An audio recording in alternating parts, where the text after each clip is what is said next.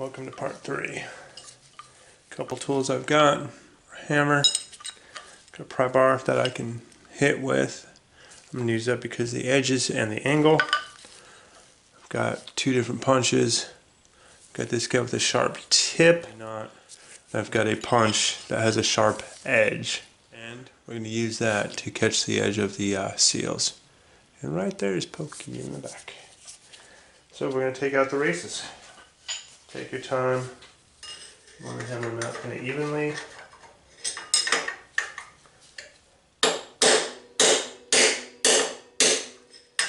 Doesn't take too much. It's got that edge.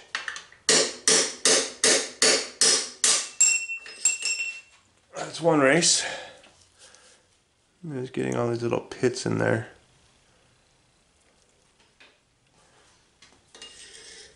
Top one is the same, you're just going in from underneath.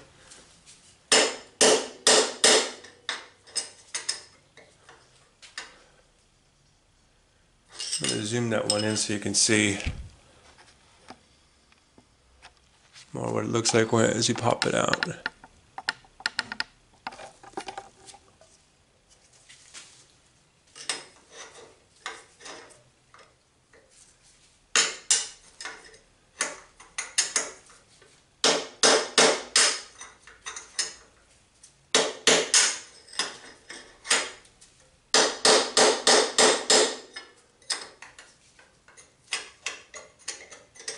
Some places it'll grab it some places better than others. Gotta find a good shoulder. Hold, it firm in there so it doesn't.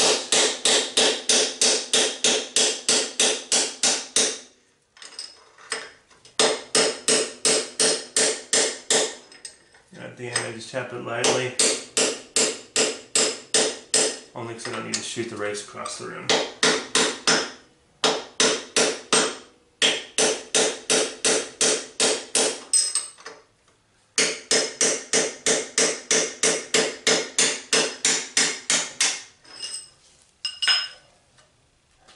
And your race. Also comparing the two because the set I have says it's the same bearing upper and lower. So I've got the two races. Oh, sorry, I suck with the camera when I'm Alright, comparing the two. Same width.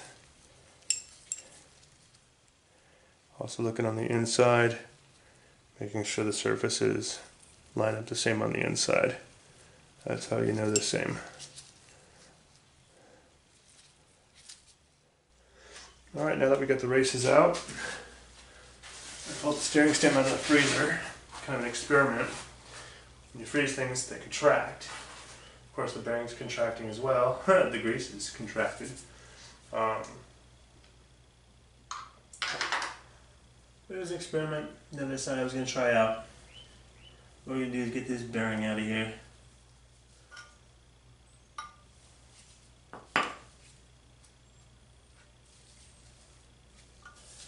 See if I can start.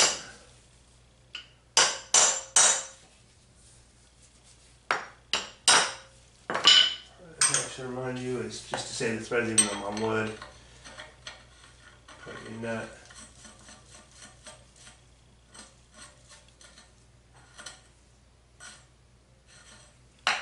Just to help save it.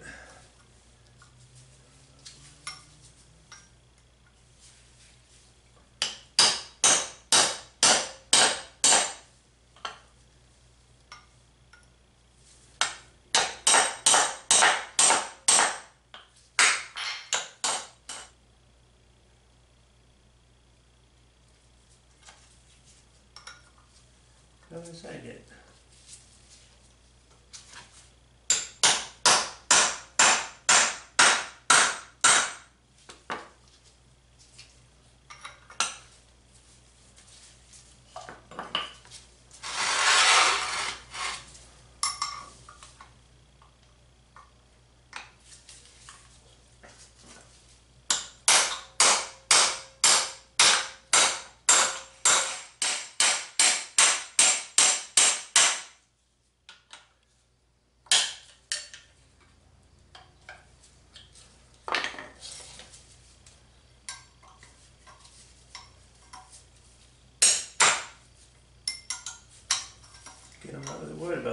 And